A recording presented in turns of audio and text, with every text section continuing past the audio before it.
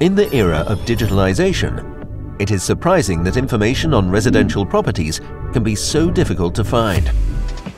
It is not that data is not available.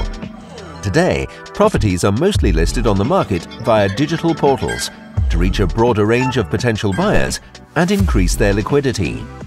These multiple listing systems, MLSs as they're known, contain much of the information any investor would want to support their investment decisions. The problem is accessing and analyzing the huge amounts of data.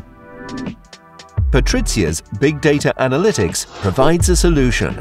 Using cloud-based systems, the platform merges socio-economic, financial, geo, and most importantly, real estate data from different web sources and compresses them into one massive database.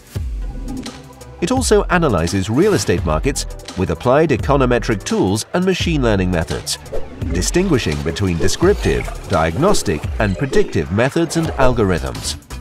Finally, it supports investment decisions in both the acquisition process and portfolio management of existing assets.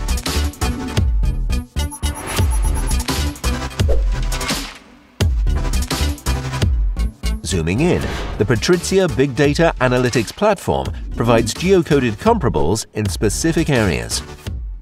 With this, it is possible, for example, to analyze rental levels according to construction years or estimate letting probabilities in order to predict the time it will take to rent out a building.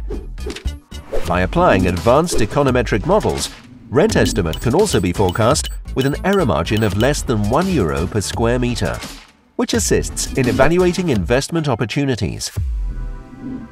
At Patrizia, we use this knowledge to deploy and manage our investment portfolios. It's just one of the many tools we use to ensure we deliver excellent performance for our clients.